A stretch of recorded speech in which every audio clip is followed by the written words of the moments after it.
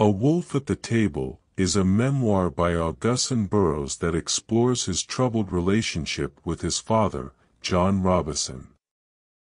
The book is a deeply personal and emotional account of Burroughs' childhood and the impact his father had on his life. Throughout the book, Burroughs paints a vivid picture of his childhood home and the people who populated it. He describes his father as a distant and unapproachable figure who rarely showed affection to his children.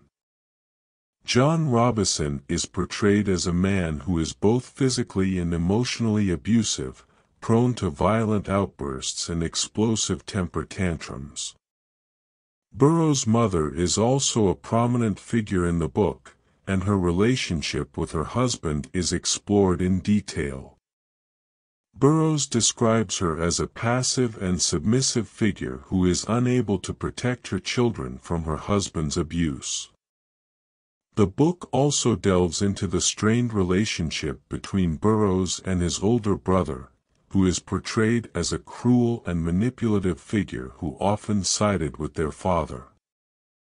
One of the main themes of the book is the impact that abuse can have on a child's emotional development. Burroughs describes how his father's abuse left him feeling isolated and alone, with a deep sense of shame and guilt.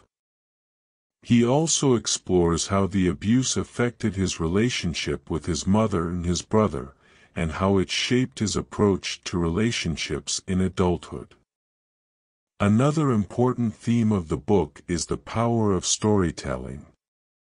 Burroughs is a skilled storyteller, and he uses his writing to make sense of his childhood experiences and the impact they had on his life.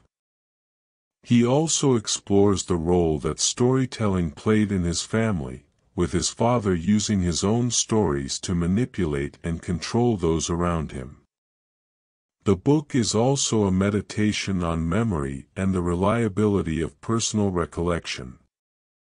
Burroughs acknowledges that his memories may not be entirely accurate, but he argues that they are still important for understanding his own emotional reality.